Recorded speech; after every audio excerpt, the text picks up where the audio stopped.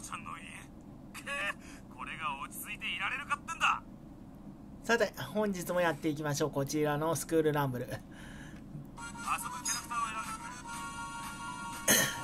前回カレー店で死んでいたと思われていたガラスマを見つけて大食いでぶっ倒れた塚本天馬を家まで運んできた播磨と八雲のその続きからです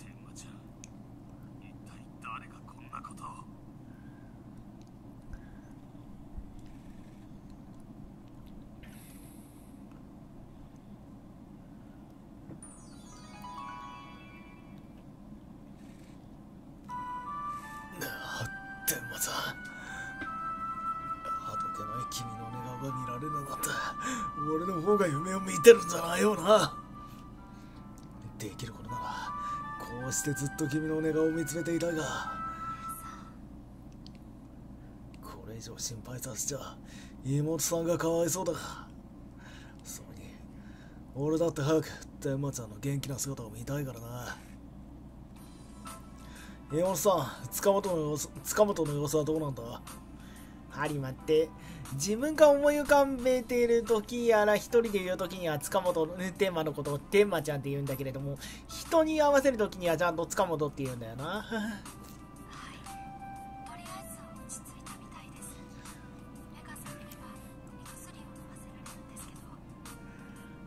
そうか。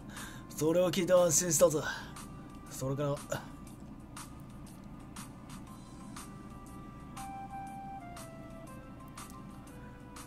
どうしておめえらまでいる？あ俺は高野から連絡を受けたのさつうかおめえ生きてたのな。心の底から残念だぜ。へへサンキュー播磨ま確かに死ぬかと思ったぜこいつ、確実に前よりネジが緩んだな。というかネジがすっ飛んでんじゃねえのか私はヤクモから連絡を受けた。バイトを早引きして高野明夏は稼ぎ時このハリセンの分は一回見逃したからな。ちょっとアキラカレーショップ巡りはどうしたのよ？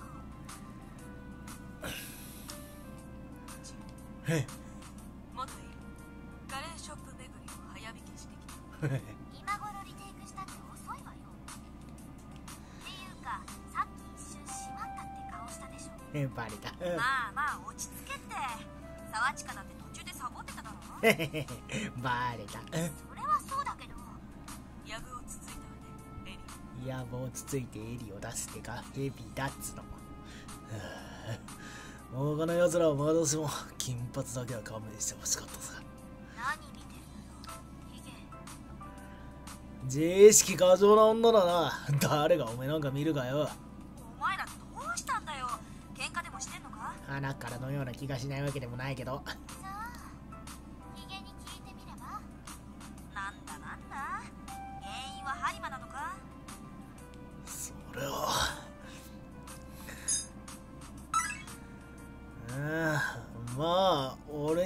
って言えばそうだな。駅前じゃカッとなっちまったが。天馬ちゃんと間違えてこいつを抱きしめたのは確かだ。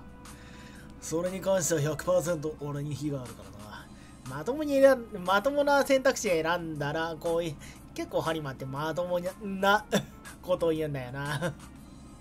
まともなのを選べばね。そうだろうお嬢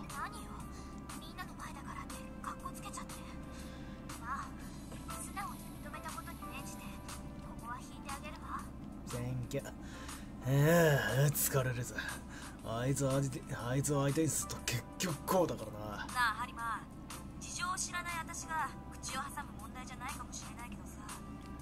もうちょっときちんと謝ったらどうなんだ？沢地下の様子を見てると。結構なことしたみてえじゃねえか。なんでおめえにまで。そうだそうだ。よくわからんけどミーコチンの言う通りだつまり好きな人の言うことなら何でも乗るってことだな。何でも賛成ってことだな。おめえの言葉は。ハリマが悪いハリマが悪い。調子に乗りやがってこいつなら一発ぶちのめしても。え有馬が俺に殺意を抱いてる。助けてみこちん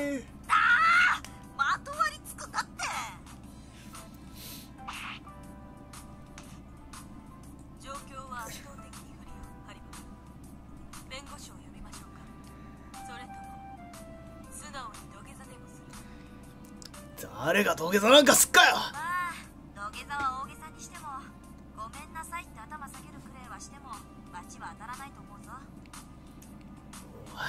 完璧俺が悪役決定かよ。日頃のイメージの悪さがたたってるぜ。ええなんかめんどくせえし頭ぐらい下げても。ちょっとみことそれにアキラも。勝手に口を挟まないでくれる？どうしたんだよ沢地か私らはあんたのために。だからそれが余計なお世話だっていうの。これは私たちの問題なんだから。こいつも結構なまともな考え方を持ってんだよな。まあハリマと付き合うことでおかしな思考回路になってしまったんだけどな。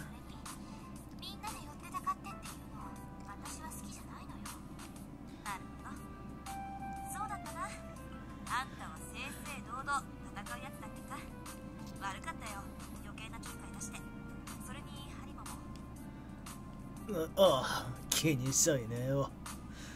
どうしたってな金髪のやつ。まさか俺に俺に助け舟を出してくれたのか？勘違いしないでよね。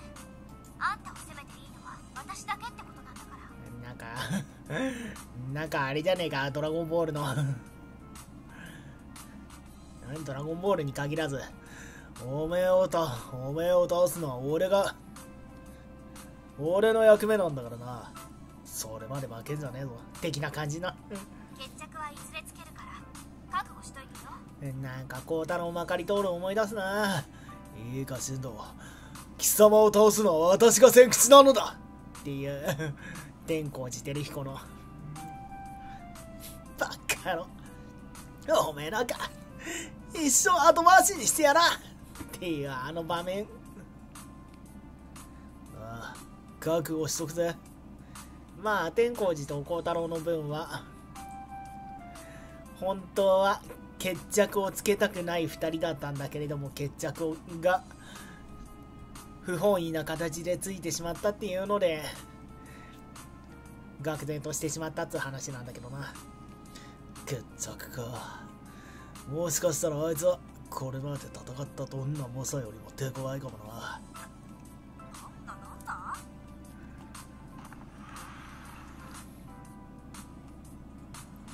ヤコ君タオルを冷やしてきたぞ。さあ思う存分使ってくれたまえ。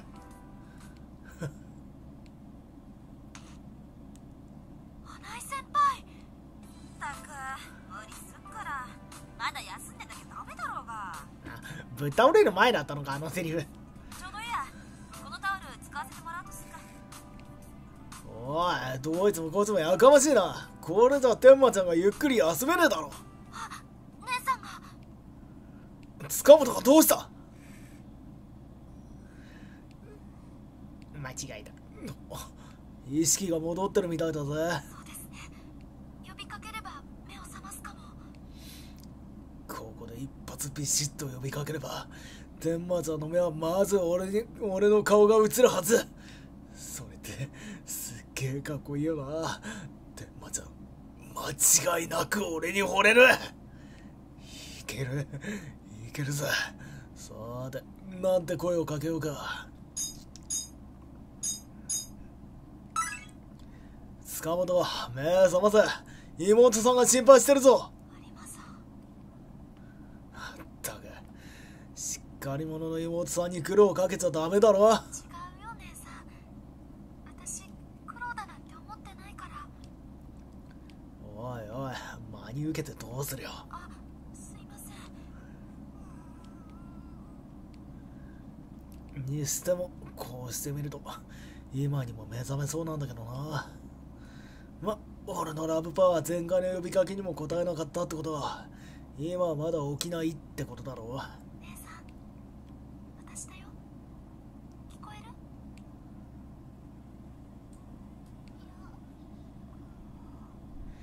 る？なんかおいしんぼであったな貝原雄山が瀕死の状態になって生死の境をさまよっている時にいろんな人が声をかけても山岡の親父その言葉で目覚めるっていうところそして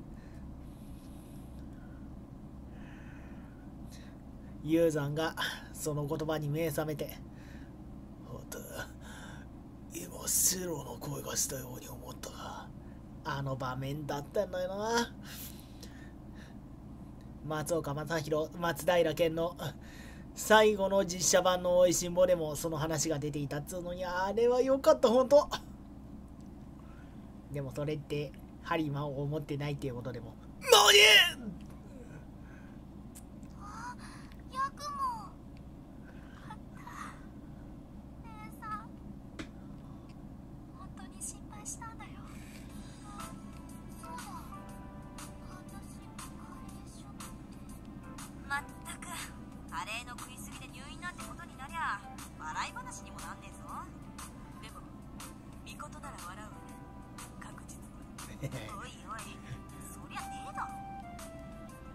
でもさ天馬ちゃんには良かったんじゃない？お腹がへっこんだ分胸の方に。まああれだ。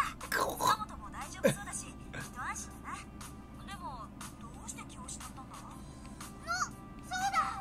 私すっごい発見をしたんだよ。えっとねえー、っとあれ？思い出せない。お約束ですな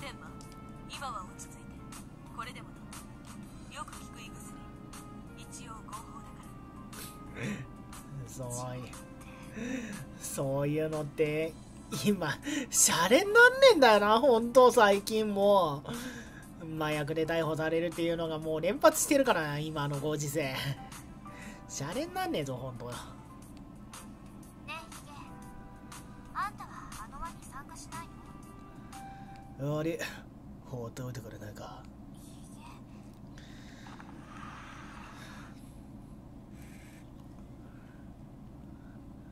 何やってんだ俺。天馬ちゃんが無事で目を覚ましてよかったじゃねえか。何をへこむことがある。それがたとえ俺の呼びかけじゃなく妹さんのに答えたとしてもこうやってうじうじ考えてること自体ショックを受けてる証拠じゃねえか。俺ってやっぱ悟りには程遠いのな。とりあえずどっかで頭冷やすとすっか。落ち着いて一人になれるとこはっと台所は人の出入りがあるしトイレは確実に誰か来るだろうし。と言ってあまり他人の家をうろちょろするのも気が引けるよな。とりあえずあの部屋に避難するか。なんか静かで落ち着けそうだし。はあやっぱ一人は落ち着くぜ。どうもまだ集団のまだ集団に混ざるってことって抵抗があるんだよな。不良の悲しいさがってやつかというか中学時代は一匹狼とにかく喧嘩に明け暮れて警察のお世話になっていたっていうのもあったらしいからな。あちなみに警察のお世話になったっていうのは確か原作の中ではまあ明け暮れ喧嘩に明け暮れていたところを天馬ちゃんに会ってで救われて惚れた救われたというか投げ飛ばされて惚れたという設定でしたけれどもスクラのオフィシャルガイドブックだったかな。それにハリマの過去ということで目線入ってパトカーの中に入っているハリマの写真が掲載されてました。とはいえお嬢の言う通りあそこはその他大勢と天馬ちゃんが回復したことを喜ぶべきだったよな。なのに天馬ちゃんが俺の呼びかけに答えなかったことでへこむなんだよ。あれながら独占欲の強さに呆れるぜ。俺と天松はまだ。これじゃ漫画を描く前と同じじゃねえか。ちょっと横になって頭冷やすか。ちょうどベッドもあるし。ベッド？机の上には2年の教科書。ここって天馬ちゃんの部屋じゃねえか！おいおい。やばいぜ。いつの間に俺は魅力のデンジャラスゾーンに好きなこの部屋。それはエメラルエルドラド理想郷。ここってこれデンマ日常生活を。それたつまり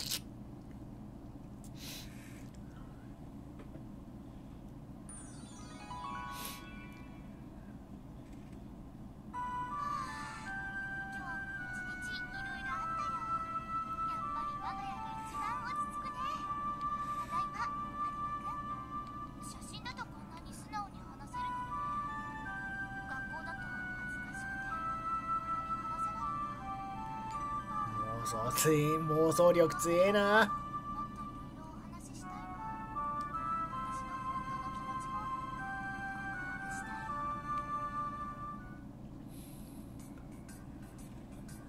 告白したいよ抑えろ抑えるんだ播磨健二。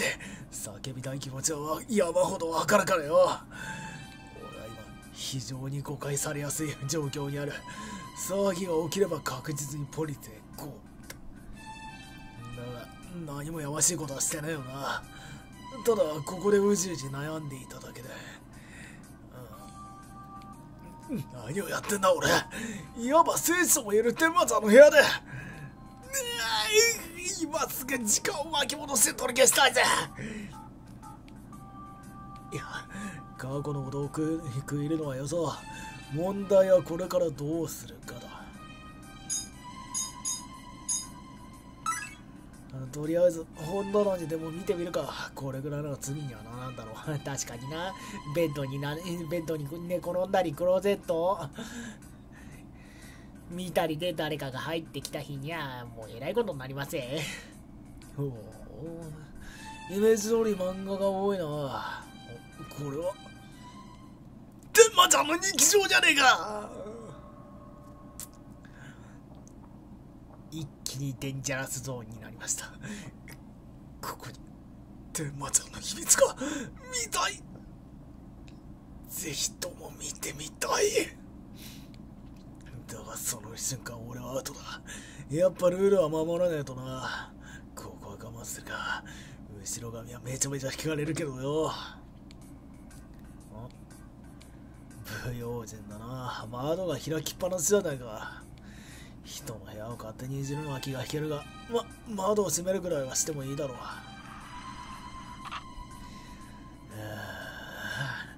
風のせいで机がの上が机の上がめちゃめちゃだった。このノートは？まさか書きかけの日記帳俺は盗みに入ったわけじゃないぞ。偶然プラス幸運で目に入っただけだ。にしてもかわいい字だな。おい天馬茶の明日がにじみ出てるぜ。何何明日からは待ちに待った夏休み。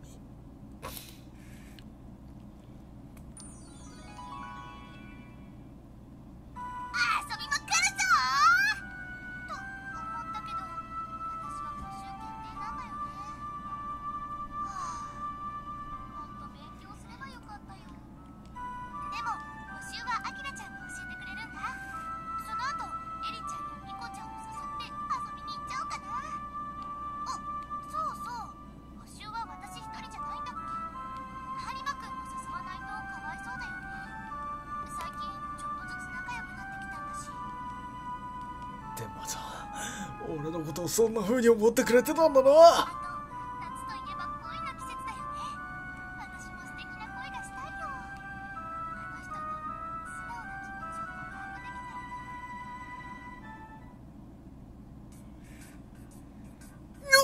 肝心なところで次のページか、うん、ここでページをめくったら俺は気になる。すっげえ気になる。なんだか不良にやってはいいことと悪いことの区別ぐらいはつくもんってもんだ。それにもう俺の気持ちは揺るがないぜ。どんなことがあろうと天末は思い続けてるからな。つうことで日記帳はこのままにしとくか。にしても夢の空間に迷い込んだところで意外とすることってないのな。精神的にぐっと疲れちまったぜ。ここは一つ気持ちを落ち着けよう。そういえばカラスマからもらったあれはいい着付け癖になるかもな。スパイスの刺激で頭をすっきりさせるか。カラスマありがたくいただくぜ。なんだ？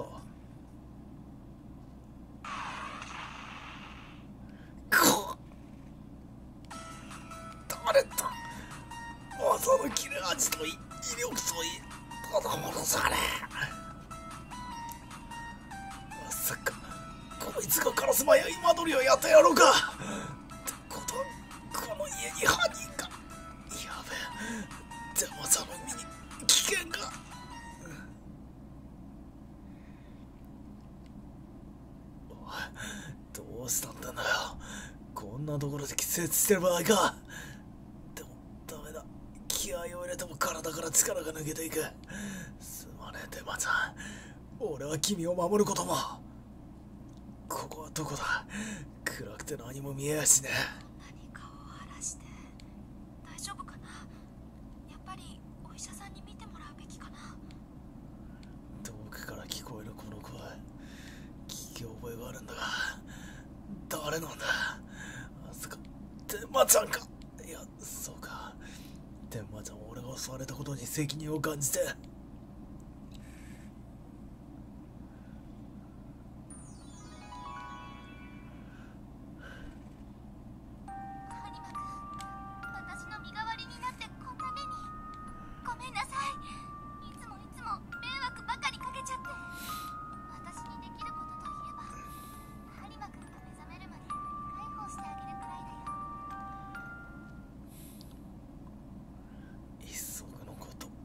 生眠ってようかな。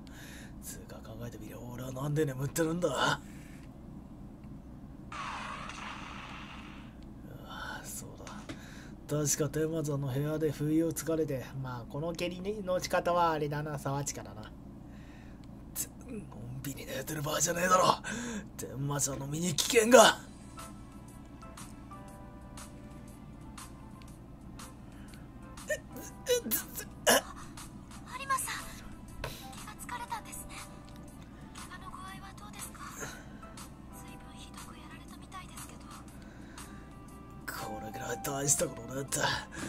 かすり傷みたいなもんだ。とマジで痛いけどな。いろいろピンポイントで急所を狙いやがった。それより塚本たちはどうしてる？私たち以外全員で犯人を探しに。なえってことは犯人の目星はついたのかよ？それを話せば長くなるんですけど。塚本がまた推理を披露したんだな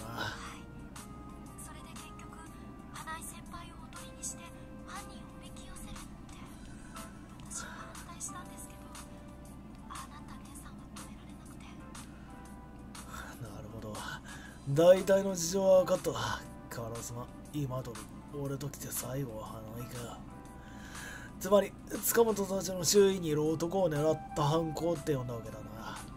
こうしちゃいらんね。無理をしないでください。もう少し安静にしていないと。いや俺には行かなきゃいけない理由があるんだ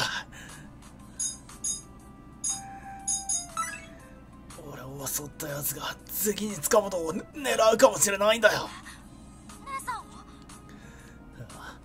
あの部屋にいた俺を塚本の間違いで襲ってきたのが何よりの証拠さ。さっきは不覚を取っちまったが塚本は必ず守ってみせるさ。まあ多分違うと思うけどね。もともとハリマを狙っていたんだと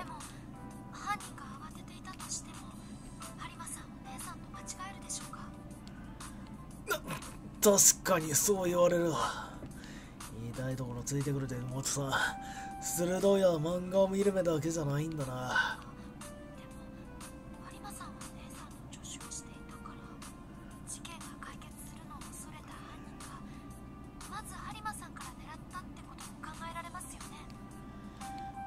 それだよ。俺も今そう言おうかなって思ってたんだ。妹さんの頭の回転が速くて助かったぜこれで心置きなくてまちゃんを追うことができる。あ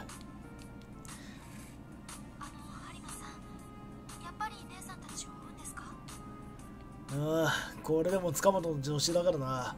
最後まで面倒は見ないとじゃ行ってくるぜ。何かあったら携帯に連絡するからな。はい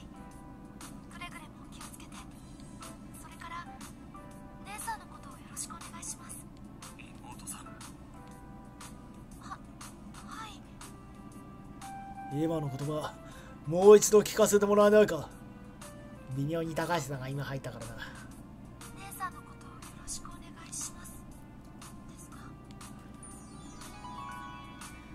あれのことをよろしくななんて甘美な響きなんだよろしく頼まれたぜ妹さんじゃアディオス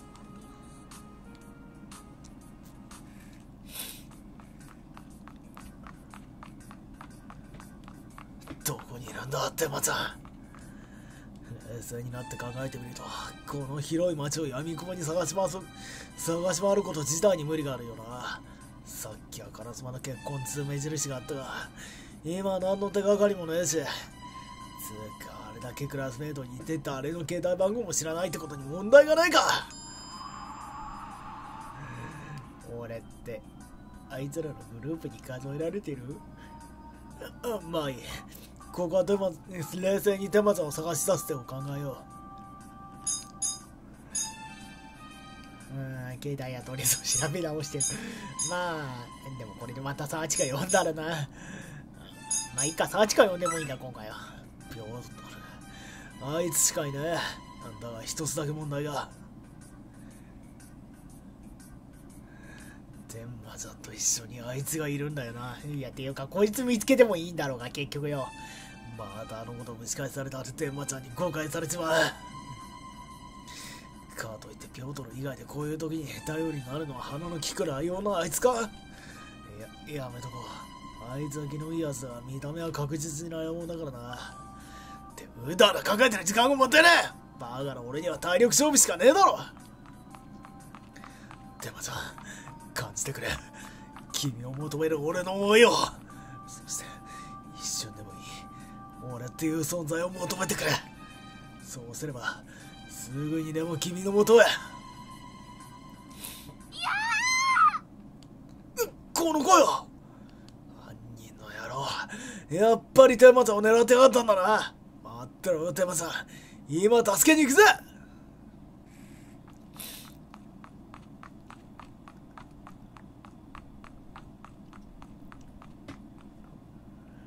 テマさんの子は確かこっちの方から。無事でいてくれよテマちゃん。すぐにすっ飛んでいくから。この声そうだな。あそこの曲がり角から聞こえてきたが。おい大丈夫か？あいい花井シス塚本何があったんだ？そこに倒れたのはメガネだな。つうことはさっきの悲鳴は私だよ。花井くんがこんなになってるのを見つけて。そうか。襲われたのがこいつだ。安心したぜ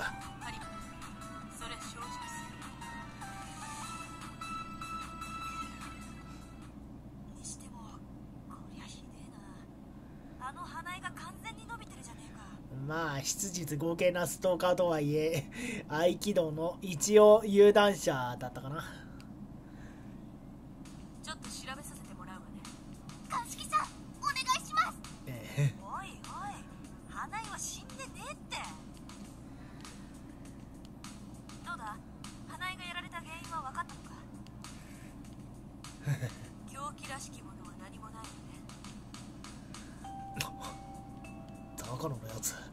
今ポケットなんか隠さなかったなことでも？い。や別に気のせいだよな。一瞬だけしか見えなかったが。どことなく烏丸からもらったスパイスの瓶に見えなくもなかったっつうか。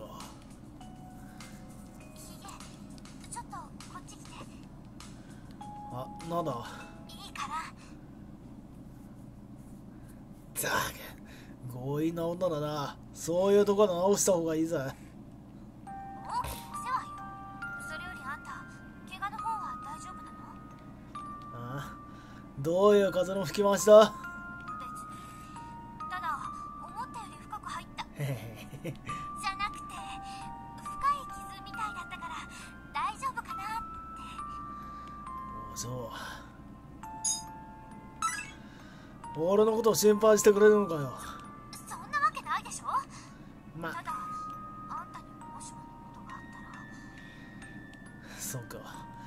おめえにはまだ謝ってなかったもんな。あ今なんだ？よもうなんで肝心なところを聞き逃すのよ。だからこうやって聞き直してんだろ？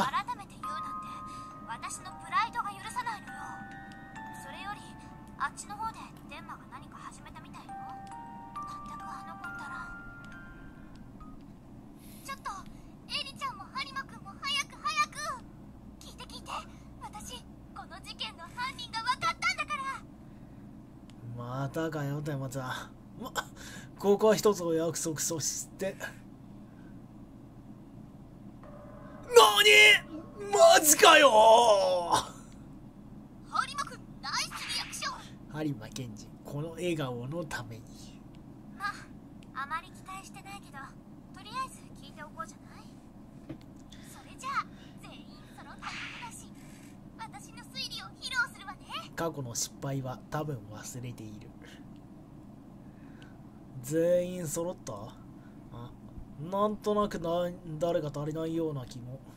まあいいか。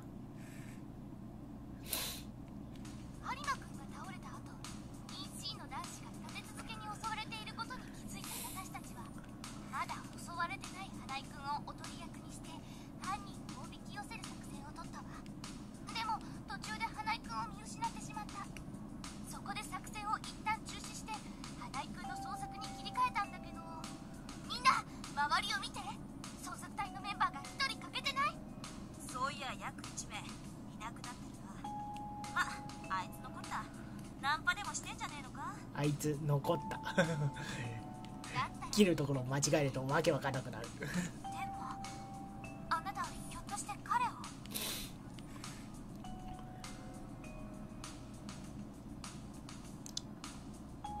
そうエリちゃんの考えてる通りよ私も信じたくはなかったけど彼には動機があるから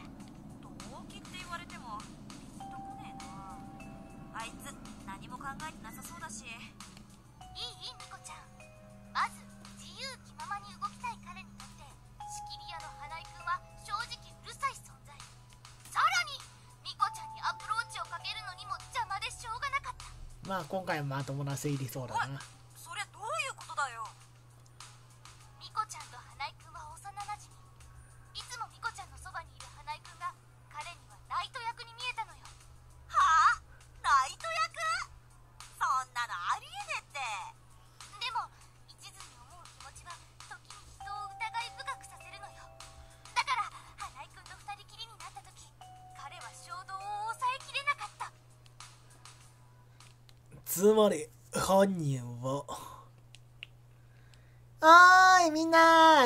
な探したよー。そう今鳥くんよ。これぞまさに飛んで火にいる夏の虫。さあ観念しなさい。まあその推理は今鳥が花井を超えるほどの達人でない限り無理な話だよな。そういう裏設定はないのかな。おいいきなりどうしたのよ姉さんまた推理が浮かんだのぶっ飛んだ推理が。ななんでヤクモが今鳥くんと一緒に？えさっきまでそこでナンパしててさ 偶然ばったり会っちゃってさ。彼女天馬ちゃんを探してるって言うから案内してあげたってわけ。え？えそれってつまりはどういうこと？妹さんこいつと会ったのはいつ頃だ確か10分くらい前でしょうか花井が襲われたのもそのぐらいの時間だ。ってことは今鳥今鳥にはアリバイがある名探偵さんこれをどう説明するのかしら？あのせめてそこは迷う探偵と書いた名探偵って言ってあげた方が。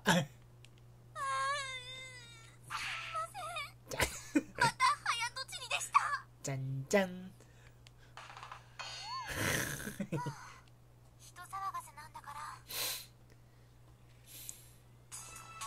まええじゃねえか塚本だって悪気があったわけじゃねえし。それにふらふらどっか行ってた今鳥だって悪いだろ。ねえんなことやれてもしょうがないじゃん。だって花井なんか探すより可愛い女の子探す方が楽しいし。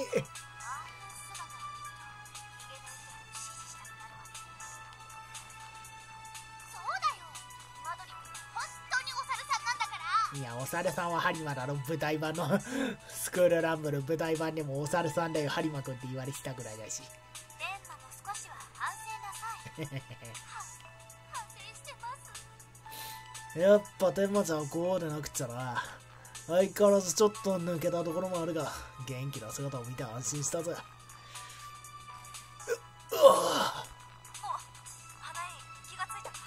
死んでなかった。なあ心配病さえ悪魔君君への思いがある限り僕は何度でも復活する。ほらこの通り。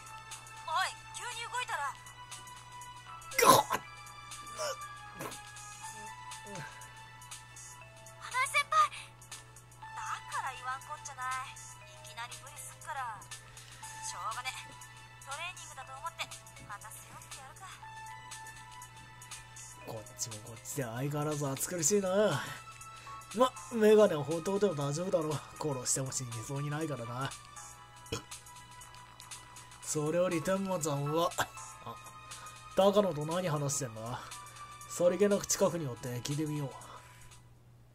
でもみんなには内緒なんだけど現場からこんなものが出てきたあれは？間違いね。俺が辛そうにもらったスパイスの瓶だ。高野のやつ。やっぱりあの時計。だ。どうしてあんなもん隠したりしたんだ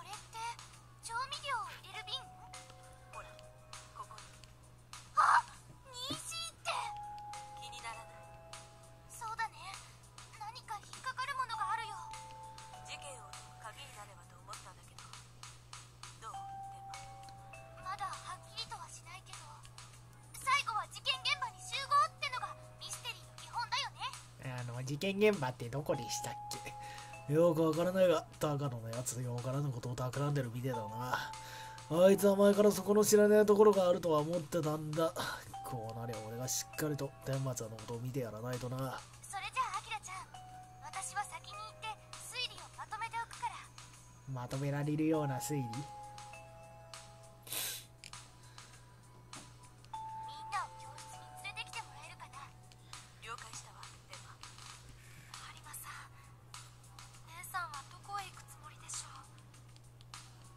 ちらっと教室とかなんとか聞こえたが、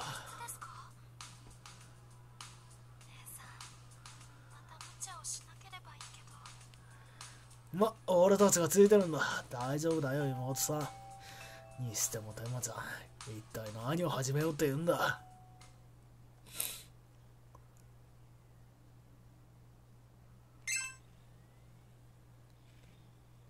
もうこのまま最後まで行ってしまうかな。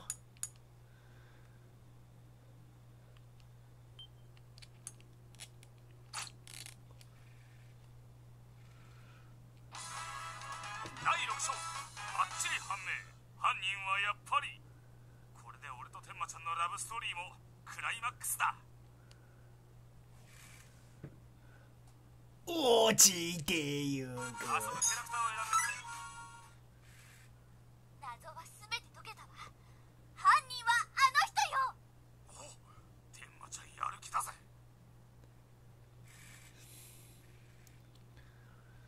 言われるままにやってきたものの、天馬ちゃんはここで何を始めようって言うんだ夕方、人気のない教室に二人きりとかだったらシチュエーション的には最高に盛り上がるところなんだが、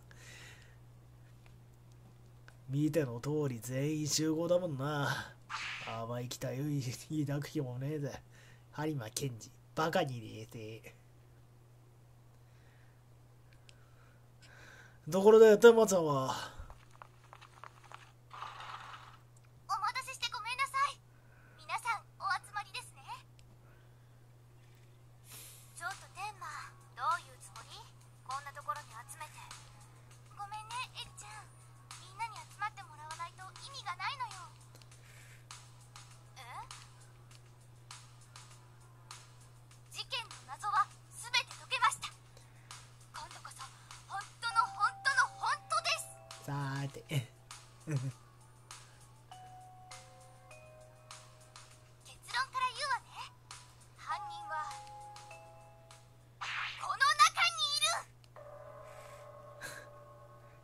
金田一少年の事件簿でもおなじみのセリフ。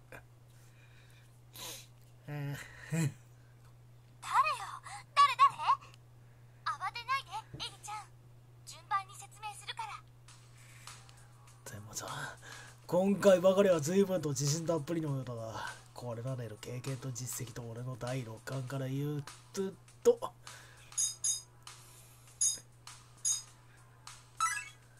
いや天馬ちゃんを信じよう。好きな子を疑うなんざ男が去る。何があってもどんな時でも。俺は天馬ちゃんの助手。これすなわち味方だ。いいですか皆さん。最初の事件はこの教室で起こりました。教室内で血まみれで倒れている烏丸くん。第一発見者は私とアキラちゃん。そして播磨くんでした。確かにそうだったな。そうだったな。今となっちゃ遠い思い出だが2週間ぐらい前だっけこれやったの最初に烏丸くんをあんな目に遭わせた極悪非道な犯人それはそれは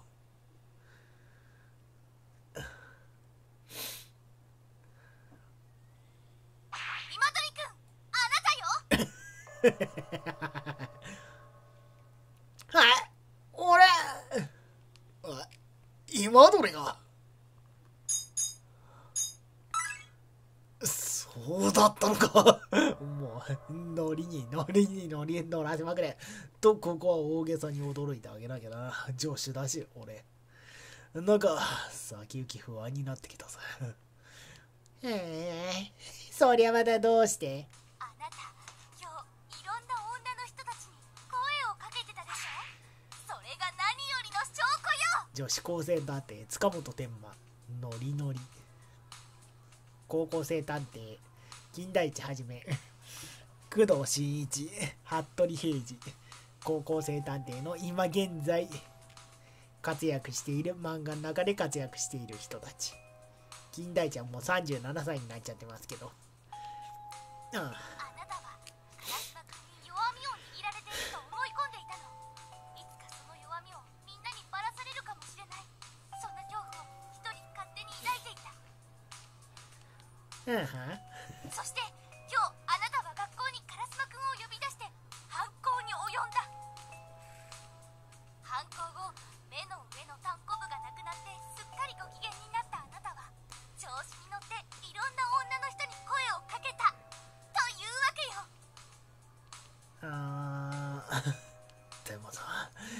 今通りのあれは別に今日昨日今日始まったことじゃねえ。ありゃ病気だ。まピュアな君は知らなくていいことだが。うん。だけどさ。し言い分は後で聞きます。今は私の話を聞いて。続きはまだあるの。まいっか。なんか知んねえけど面白そうだし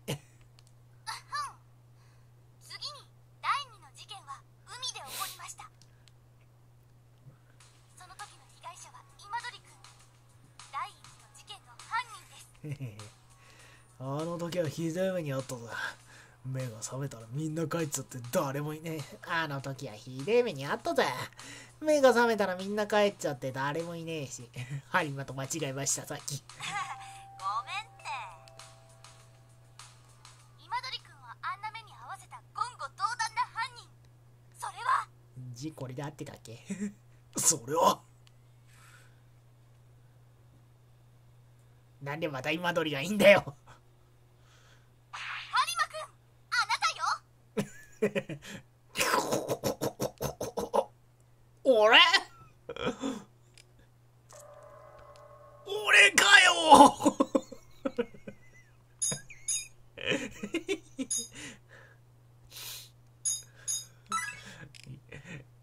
俺が犯人って本気で言ってるのかよ。そそうだ。俺にはアリバイがあるじゃねえか。今鳥が倒れた時。俺は今あれ記憶にございませんで加藤ちゃんの真似すべきだったから、記憶にございません。全然似てね。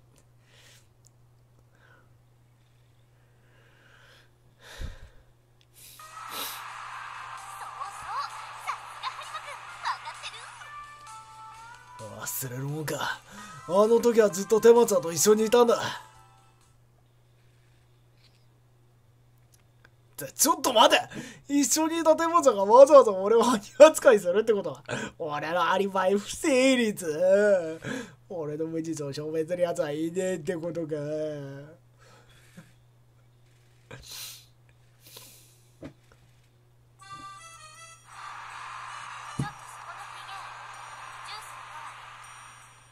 そうだ。お嬢がいる。お嬢が俺のアリバイを証明してくれるはずだよかったなあ塚本どうして俺が犯人だと思うんだ？俺は塚本の助手じゃないのか？そこが盲点だったのよ。有馬君に限ってそんなことはないって頭から信じていたから。すっかり騙されたわ。っていうか騙してないし。俺は潔白真っ白けいやむしろ透明スケスケ。まさに濡れ衣だよ天馬ちゃん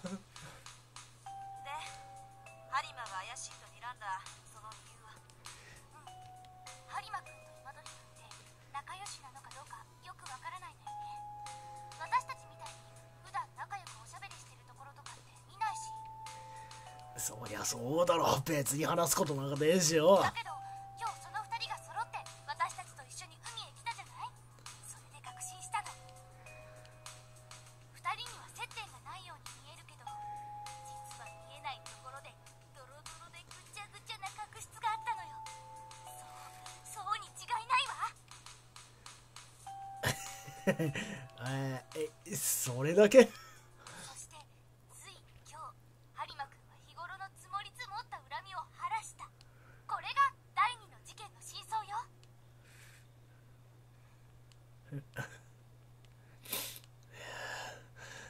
天馬ちゃんの想像力には感服するぜ。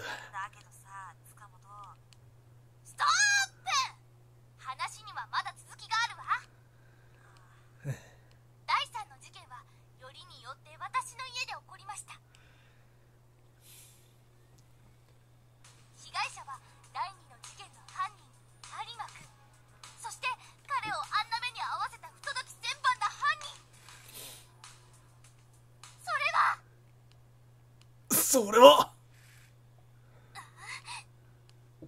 犯人は隣にいるのだけどね気づかずに。ってことは花井を選ぶんだな順番的に。花井君あなた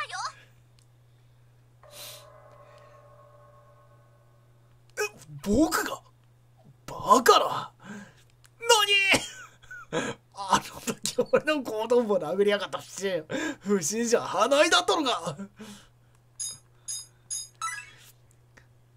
いやまた花井がそんな卑怯な真似をするわけがねえぜ。こんなまっすぐなやつにそうは見つからねえ。天然間近の頂点。こんなまっすぐなやつそうは見つからねえ。絶滅間近の超天然超超天然記念物に指定したっていいからだよ。ま俺がこんなことを思ってるなんてことは死んでも言えないけどよ。塚本君どうしてこの僕が犯人だと言うんだ？証拠でもあるのか？ねえ思いっきり動揺しちゃってるよ。でもまたも罪作りだな。もちろんあるわ。証人もここに揃っているし。証人？ここに集まった全員が証人よ。何？それはどういう意味だ？ってことはあそこでもし勝っていたらこれまた違うパターンもあったってわけか。話が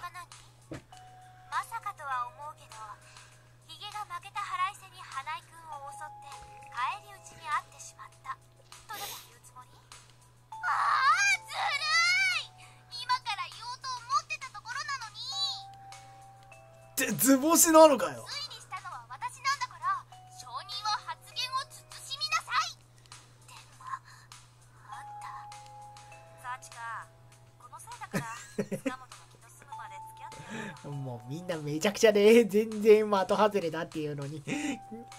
み塚本を。もう乗らしてやろうっていうことで一気に最後までやってるのねみんなも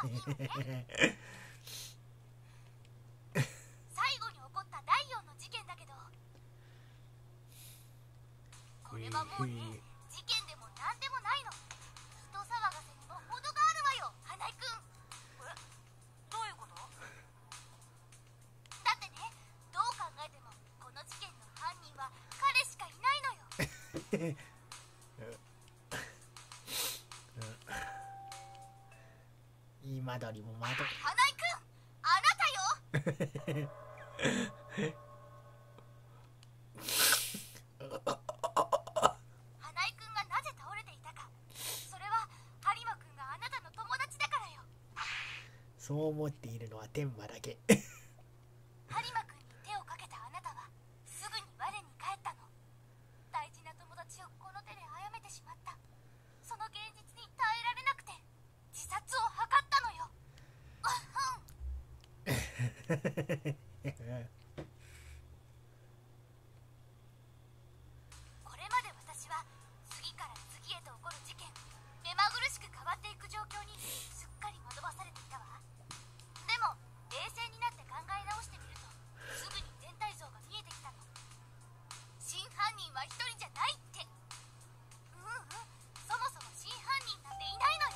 いうかそもそも殺人事件でもないしな。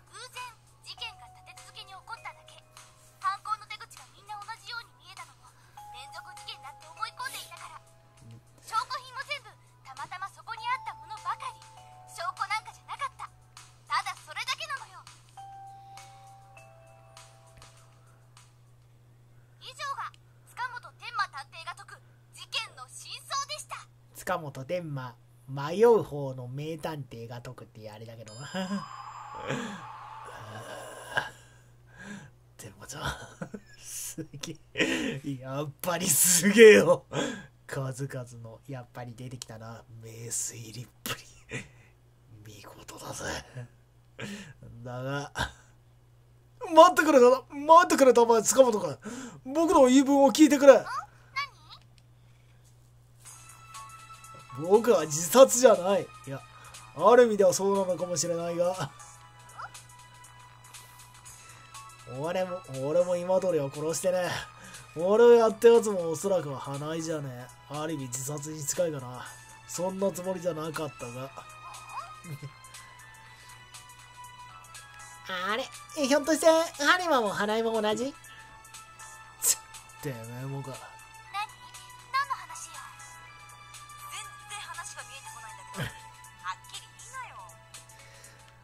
仕方ねえな。天馬ちゃんすまない。せっかくの天馬ちゃんの名推理台無しにするつもりはねえが真相を解明しないと目覚めは悪いからな。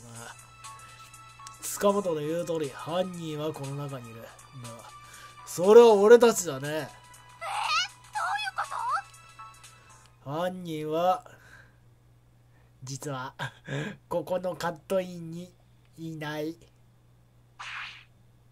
カラスマお前だ。カラスマくん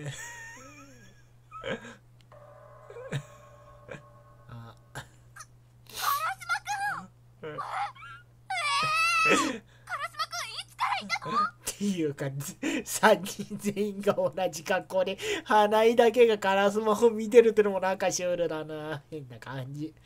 花井のやつがぶっ倒れた時からずっと一緒だったぜ。カラスマくんがええちょっと何を言ってるの？ハリマくんカラスマくんは最初の事件の被害者なのよ。カラスマくんが犯人なわけないじゃない。だってそんなことをする理由なんてどこにもないし。ねえカラスマくんも何か言ってよその通りだよ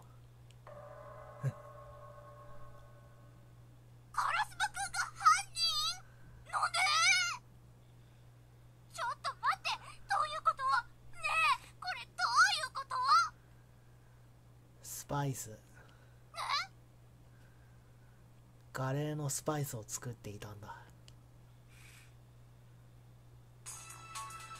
いろいろなスパイスを調合して試作品ができるたびに試食。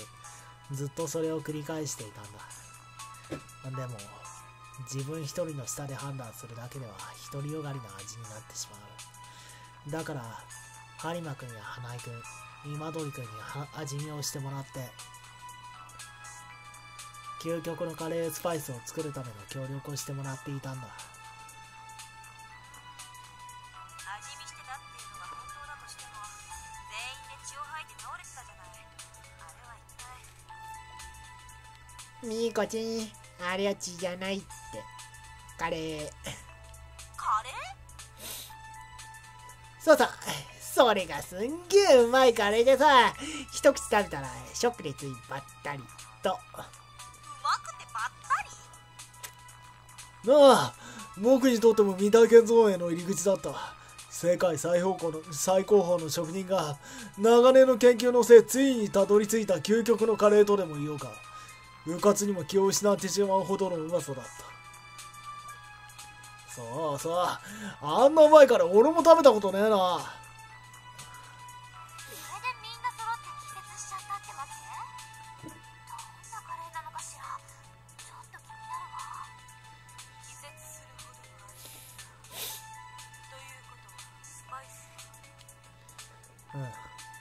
おかげで無事に完成したよ。そうそれはよかった。なんで？ねえなんでみんなそのこと黙ってたのよ。私が事件の謎を解くためにあちこち走り回ってたことは全部何もかも無駄だったってことでしょ。姉さん落ち着いて。そりゃ言えねえよ塚本はスパイスごときで倒れたなんて最高にかっこ悪いじゃねえか分かってくれとは言わねえぜ天松は。恋する男の恥じらいってやつさ。それに言う時間もなかったしな。っていうかさ事件って何？このゲーム根底から覆すセリフだな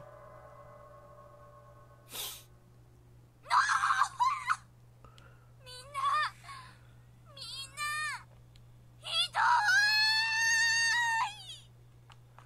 ひどいおい塚本！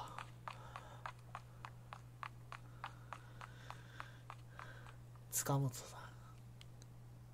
塚本待ておい！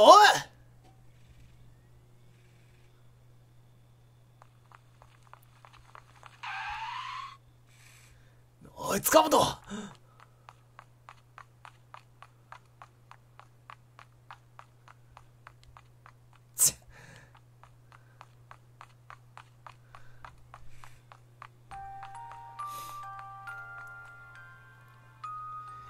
でもさ君の推理を全否定しちまって本当に悪い。裏切るつもりなんかなかったんだ。なんだあのまま値切りも着せられたまま黙っていることは俺にはできなかった。この事件を全力を傾けたテーマちゃんには真実を伝えなきゃなんだねたとえそれが君を苦しめることになっても俺が潔白であることを伝えたかったんだ。だから俺には責任がある。昇進の君を、ま、受け止める責任が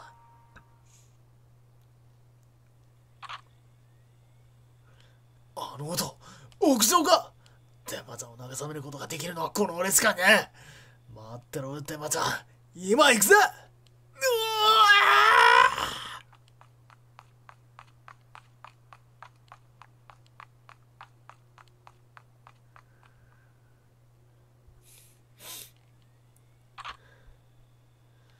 ー塚本塚本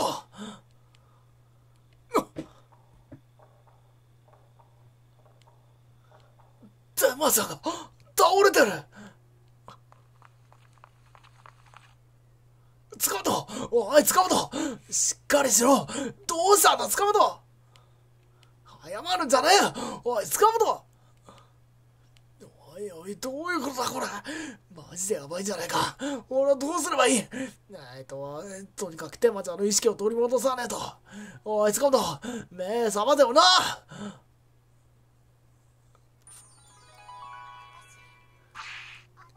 いつか聞きたかったこのセリフ。来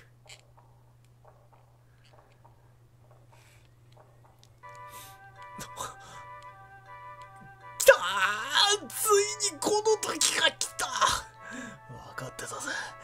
いつか必ず互いの思いを伝え合う時が来ると。それが今か。いいか天馬ちゃん恥ずかしがらずに聞いてくれ。俺の思いを今伝えるぜ。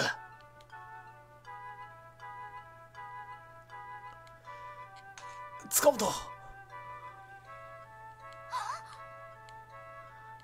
俺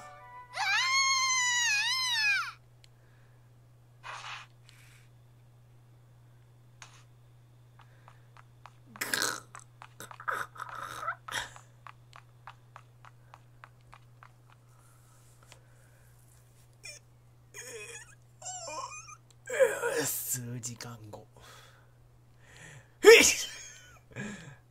いええつなんだ後頭部に残酷部なあと俺こんなところで何してんだ夢儚く消えるスタイルあれ。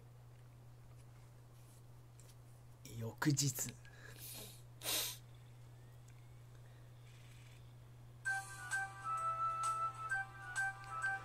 今日から夏休み。この理不尽なまでに長い休みは俺にとっての地獄の始まり。のはずだった。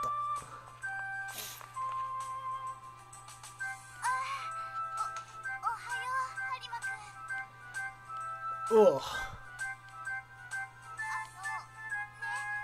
有馬くん昨日？はごめんね思いっきり突き飛ばしちゃって昨日ああいいって気にすんな。ありがとう昨日ってなんかあったか？まあいっか。天馬ちゃんがこうして笑ってくれればそれだけじゃ十分さ。局あれって一日の出来事っていう設定だったんだよな。すげえ。それにしても。ああなんて眩しい笑顔なんだ。こんな彼女を独り占めできるなんて俺は幸せ者だぜ。2C の補修組は俺と天馬ちゃんの2人だけ。つまり今日から2人きりで補修という名の甘い日々が始まるのだ。そう2人っきり。天馬ちゃんと2人っきり。ってやる。やってやるぞ。こんなチャンスをみすみす見逃す手はない。一気に2人の距離を縮めていずれは。大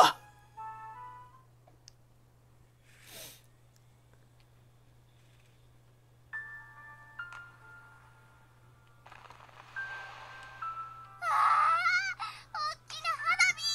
綺麗だね。子供みたいに はしゃぐと転ぶぜ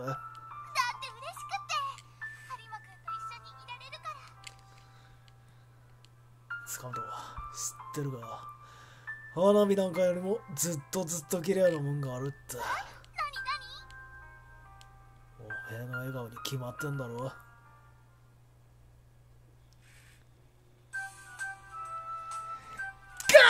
ーどうよこの展開最高だろ理想だろ。いいかこれが俺の夏のテーマだ。絶対に実現させてみせるぜ。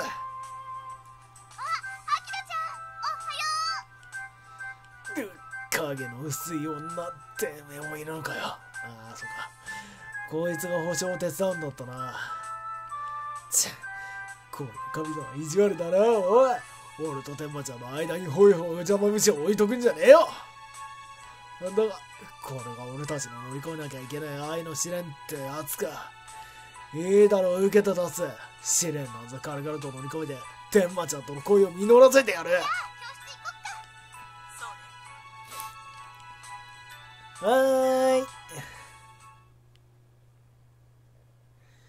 頑張れ、俺。これでハニマルートはかん終わりかな。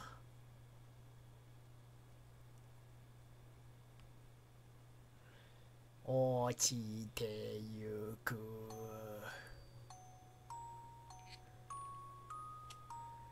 でそれぞれのキャスト。スオ小清水亜美堀江由衣生田美瞳清水香織能登まみ子南ゆかり。で男性陣は自分が 全部やっちゃったという、えーまだこの時は岸尾大輔さんはひらがなじゃないんだ。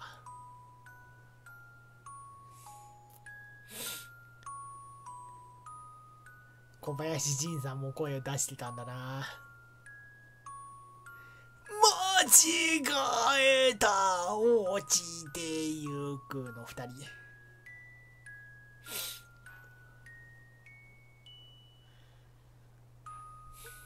まあ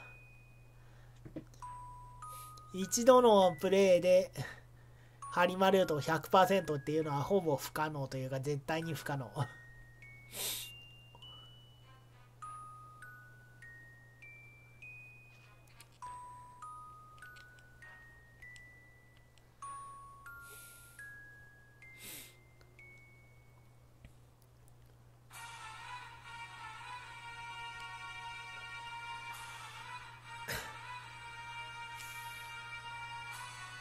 そういえば自分あれもう一つゲーム実況の分でモンスターファームやってるんですけれどもモンスターファームプレステ2版を今日ちょっと久々にやってみたんですがやっぱり育て方って言えばまあ速さを上げてましたねメインに。プレステ2だだとまあ命中と回避を両方まとめて速さでやっているためにそれを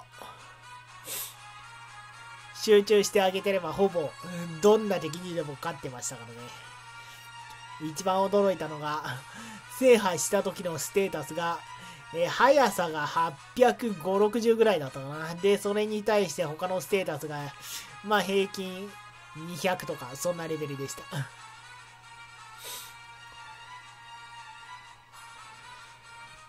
正直あんな分で あんなステータスでクリアできるんなら。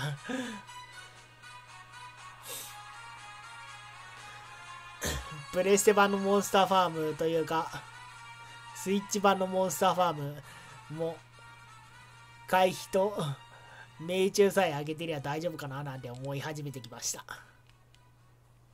まあそしたらその分技が全然覚えられないんですけど。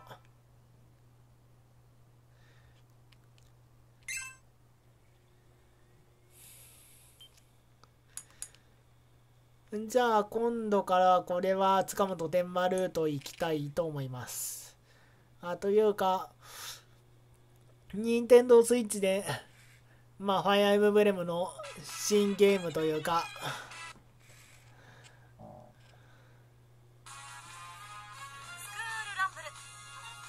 まあ Wii U で出ていた シャープ FE あれが16日だか18日だかにプレイできるようになりますんでそっちをやっていこうかななんて思っています。